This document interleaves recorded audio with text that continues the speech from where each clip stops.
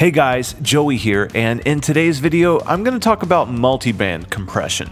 This is a style of compression that splits audio into separate frequency bands and compresses them independently. They're used to solve frequency-specific dynamic issues. If you've got overly dynamic subs or an inconsistent high end, pay attention to the techniques used here. There's a lot of uses for multiband compression in today's workflow. Sidechaining, de-essing, and low-end control are the most common applications. There's a lot to explain, so let's get right into it. Let's start with de-essing.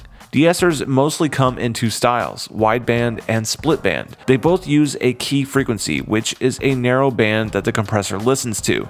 It's usually somewhere between 5 to 9000 Hz.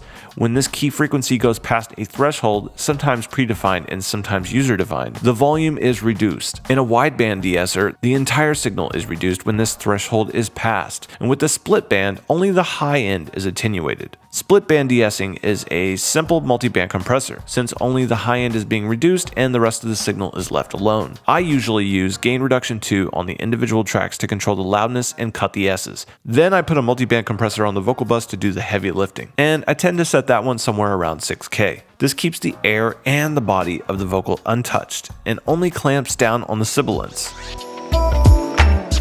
Multiband is useful for controlling the low end of vocals too. A band from 100 to 250 Hz can reduce the impact of P and B sounds if a vocalist recorded without a pop filter. These sounds are called plosives, and they sound like this.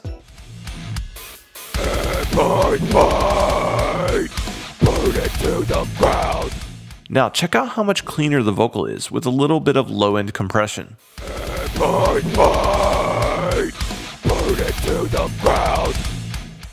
I use this same kind of compression all the time on guitars. Palm mutes have a lot of low frequency information which can make any compression or limiting on a bus overreact to those same palm mutes, rather than the entire signal itself. Check out these palm mutes on an analyzer.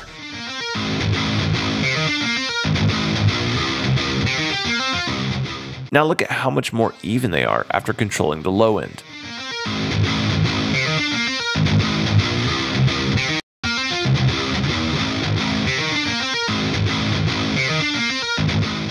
This process is included in the JST Bus Glue guitar plugin. It's also in ToneForge Jason Richardson and ToneForge Jeff Loomis.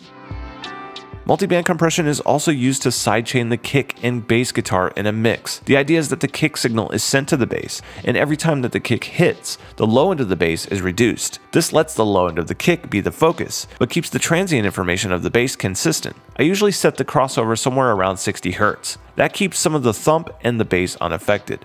This process is done to control the sub information, so the 70 to 120 Hz area isn't always included in the sidechain.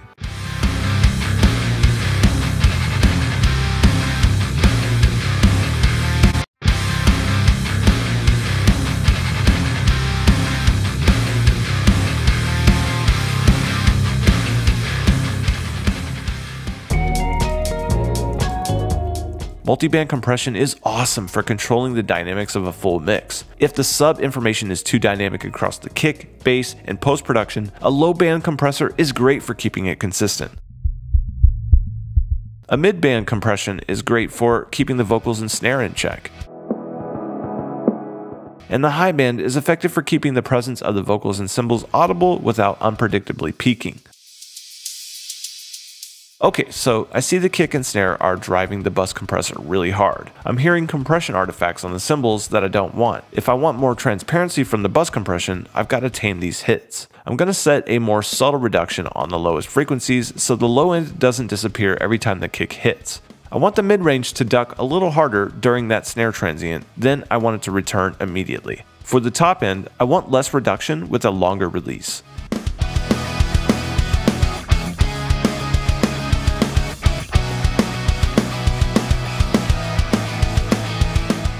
Awesome. Now the mix compressor is reacting to the entire song rather than just the drum transients.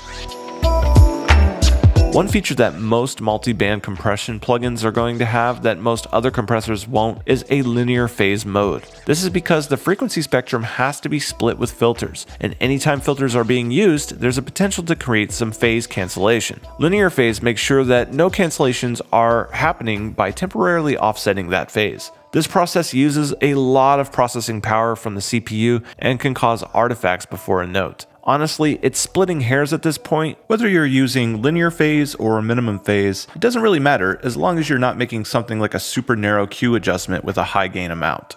And that's it. Multiband compression is a really powerful tool when used correctly, and it can easily clean up a source.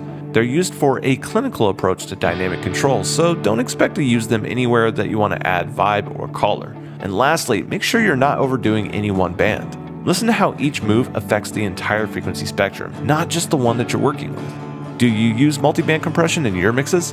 What problems do they help you solve? Let me know in the comments below. Thanks for watching, and if you like this video, hit that subscribe button. Don't forget to check the links in the description below and tap that bell to get notified whenever we upload new videos. Until next time, happy mixing.